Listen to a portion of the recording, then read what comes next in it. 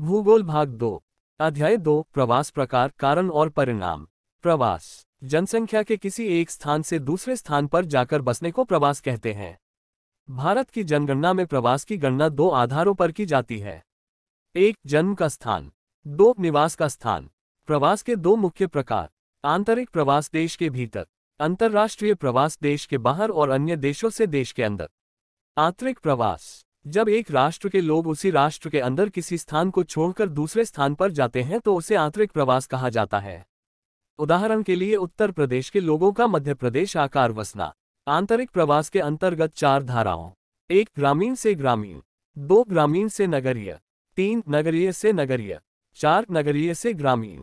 अंतर्राष्ट्रीय प्रवास। जब कोई व्यक्ति या समूह एक देश की सीमा को पार कर दूसरी देश की सीमा में प्रवेश करता है तो उसे अंतर्राष्ट्रीय प्रवास कहते हैं। वर्तमान समय में अंतर्राष्ट्रीय प्रवास दो देशों के नियमों के अधीन ही संभव है। प्रवास के कारक प्रतिकर्ष कारक अपकर्ष कारक प्रतिकर्ष कारक वे कारण जो लोगों को निवास स्थान अथवा उद्गम को छुड़वाने का कारण बनते हैं प्रतिकर्ष कारक पुश फैक्टर होते हैं। जैसे भारत में लोग ग्रामीण से नगरीय क्षेत्रों में मुख्यतः गरीबी, बेरोजगारी, कृषि भूमि पर जनसंख्या के भरण पोषण का अधिक दबाव असंरचनात्मक सुविधाएँ जैसे शिक्षा, स्वास्थ्य, बिजली, परिवहन, मनोरंजन इत्यादि के अभाव के कारण प्रवास करते हैं। इनके अलावा पर्यावरणीय कारक जैसे प्राकृतिक आपदाओं, बाढ़, सूखा, चक्रवात, भूकंप इत्यादि तथा राजनैतिक अस्थिरता, अशांति स्थानीय संघर्ष भी प्रतिकूल परिस्थितियाँ उत्पन्न करते हैं।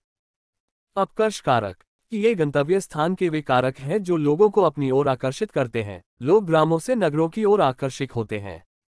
गाँवों को छोड़कर लोग दिल्ली, मुंबई, कोलकाता जैसे महानगरों में रोज़गार के बेहतर अवसर, नियमित काम का मिलना, ऊँचा वेतन, शिक्षा, स्वास्थ्य, परिवहन, मनोरंजन इत्यादि की सुविधाओं के उपलब्ध होने के कारण प्रवास करते हैं। प्रवास करने के पाँच कारक। एक, आर्थिक कारक। ग्रामीण इलाकों में ज़्यादातर लोग खेती पर निर्भर करते हैं तथा सीमित कृषि भूमि पर जनसंख्या का अधिक दबाव होने से सभी को रोज़गार नहीं मिल पाता है।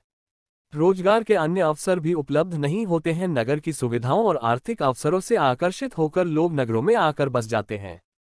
उद्गम स्थल पर बेरोजगारी, भूखमरी, गरीबी इत्यादि प्रतिकर्ष कारक लोगों को अपना स्थान छोड़ने पर मजबूर कर देते हैं। दो, अवसंरचनात्मक कारक, ग्रामीण इलाकों में शिक्षा मुख्य रूप से उच्च शिक्षा का अभाव रहता है। शिक्षा, स्वास्थ्य सेवाओं, परिवहन, मनोरंजन, उच्च जीवन स्तर हेतु आवश्यक सुख सुविधाओं की कमी लोगों को प्रवास करने हेतु मजबूर करती है। तीन, सामाजिक, सांस्कृतिक कारक सामाजिक परंपराओं के चलते प्रत्येक लड़की को विवाह के पश्चात अपने ससुराल में जाकर रहना होता है, जिसके कारण स्त्री जनसंख्या को प्रवास करना पड़ता है। चार, राजनैतिक कारक युद्ध, अशांति, स्थानीय संघर्ष, राजनैतिक अस्थिरता जातीय या धार्मिक दंगों के चलते सुरक्षा की कमी के कारण लोग अपने घरों को छोड़कर अन्य सुरक्षित स्थानों की ओर प्रवास करते हैं। उदाहरण के लिए आतंकवाद के कारण कश्मीर घाटी से कश्मीरी पंडितों का मजबूरन देश के अन्य भागों में प्रवास कर जाना।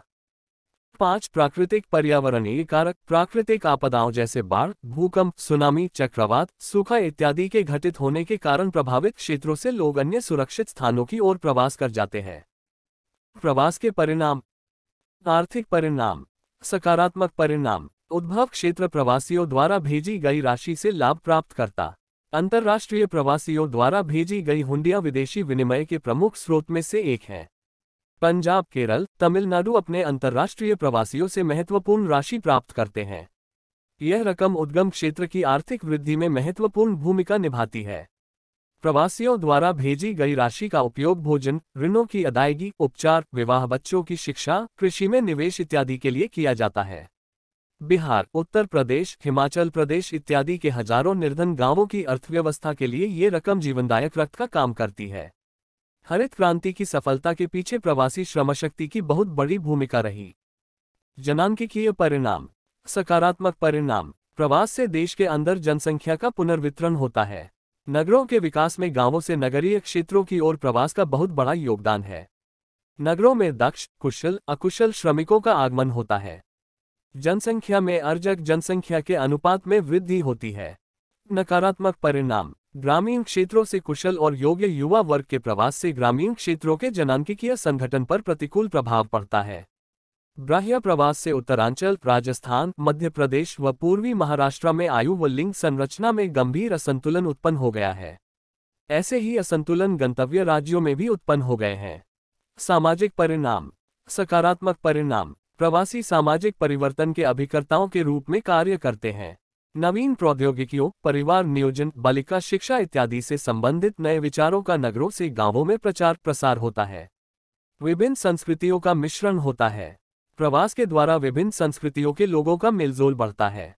लोगों की मानसिकता व्यापक होती है, विचारों में खुलापन आता है। नकारात्मक परिणाम, गुमनामी के कारण लोग अकेलापन महसूस करते हैं। प्रवासी समाज से कटकर अकेले पड़ जाते हैं।